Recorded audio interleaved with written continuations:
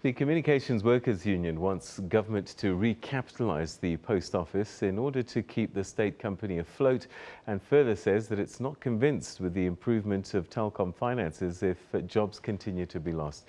The union briefed the media a short while ago to giving an update on this and other political issues. Earlier, our senior reporter Liabo Setho spoke to CWU President Clyde Mervin. With regards to the South African Post Office, one would have thought that um, everything has now gone to, to, rest, and now that you know the Post Office is showing a turnaround. But you don't seem to be convinced, and still want the government into the South African Post Office. Uh, thank Good afternoon. I think first is that the Post Office, as we speak, have, have just uh, made a loss of 1.2 billion rand as we speak.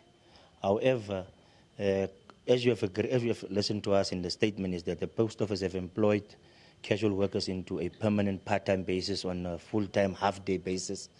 Uh, they've given workers some increase, but however, there's some challenges in the post office. Uh, at times, you'll find that workers are told there can be no overtime, you can't work extended hours because of the current state of affairs. As I've just outlined that there's 1.2 billion loss in the post office. So we strongly believe that if you if you if you if you upgrade the IT systems, you bring back post post bank into a, into a better space. And also, obviously, there's technology challenges which we, which we have to. We are currently doing e-commerce as the post office. We are changing di- to digital, mm. and and I think one of the challenges we have for the post office is that that 3.7 uh, billion bailout has conditions. It has conditions, and those conditions, I think, government must intervene so that it can be relaxed, so that post office can be able to make money so that obviously it brings back profits. Next year, I think you'll still see another loss of the post office. It's going to take time to break even around that specific loss. Given that the post office is still in a stage of a turnaround, they're trying to get the finances around. Um, perhaps are you not? Uh, do you feel that you're not rushing things uh, uh, to to get the post office to be working smoothly once again when it's just starting to pick up? Look, we're not rushing things. I mean, if, if the CEO, when he came in, made a presentation to the DP, the Deputy President, to, to, to Parliament, to Cabinet, to Portfolio Committee, they will not retrench workers. I think I said earlier on about 854 workers have left the system through voluntary packages. I mean, a package form is a retrenchment form. I think we've seen in Telkom, if you are given a package hardly a year, you are, look, you are unemployed, you are looking for a job again because you don't have enough finances. Now, that is one of the issues. Two, we've agreed that post, uh, post office will never be privatized.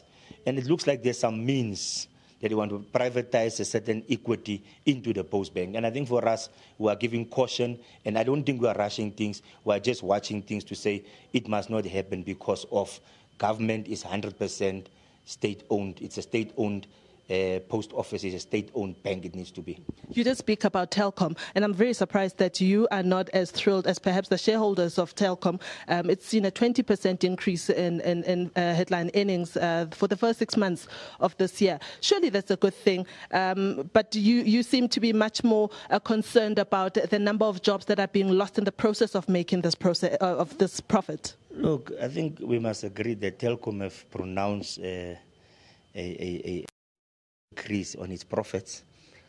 Uh, however, I think as workers, we have raised some fundamental issues. What happens? You outsource a certain section of workers for you to be able to trade cheaply. And it becomes concerned that there will be no sustainable and quality jobs even if you outsource. For example, Telkom outsourced its call center to WNS. Hardly, WNS hardly in six months have retrenched workers. They are now have outsourced OpenServe. They've now outsourced BCX.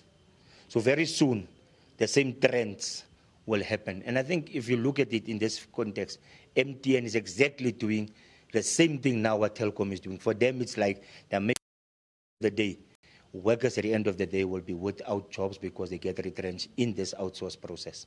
Just quickly, I know that my colleague Dumaule also has to speak to you with regards to some of the political angles that you spoke about today. Um, you have a concern with Uber. You want it regulated. Why? Want it regulated because obviously those people are working long hours, they're working at night and during the day. So it's long hours. And what we're saying is these workers, it should be regulated so that at the end of the day, they get a proper, uh, a proper salary, they get allowances, they get overtime. They, because these workers are not sleeping, they are working 24 7. So I think that is what we say regulate so that these people can have proper working conditions.